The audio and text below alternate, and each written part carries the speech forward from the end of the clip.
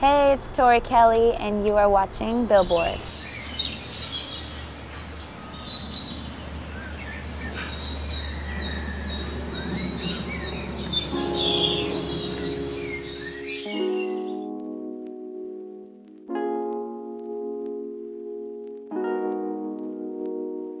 La da da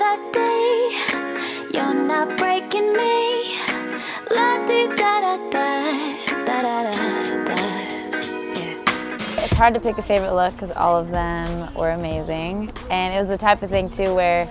Um, I was like, when it's just on the hanger, I'm like, oh, cool. But then, like, when it's on and you see the shot, then it's it's really dope. I think this is one of my favorite looks, the one I'm in now.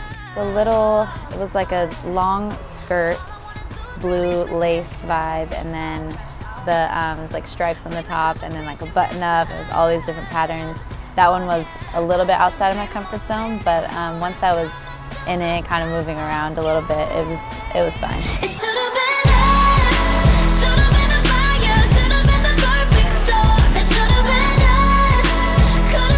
My personal style, I think, is to say in one word, I like to put as understated.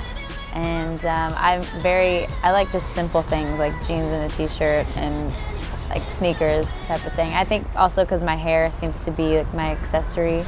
If I have my hair, then I can just kind of rock like whatever on the bottom. Ain't nobody love, ain't nobody love like you do. Ain't nobody love, ain't nobody love like you do. Ain't nobody love. I think July 4th is probably one of my favorite holidays of the year and a bunch of my family and friends always like hang out and uh, we go out on the water on a boat and we just look like straight up and it's like crazy fireworks show so that's definitely a tradition and we make homemade ice cream but yeah it's fun just to get everybody together and hang out.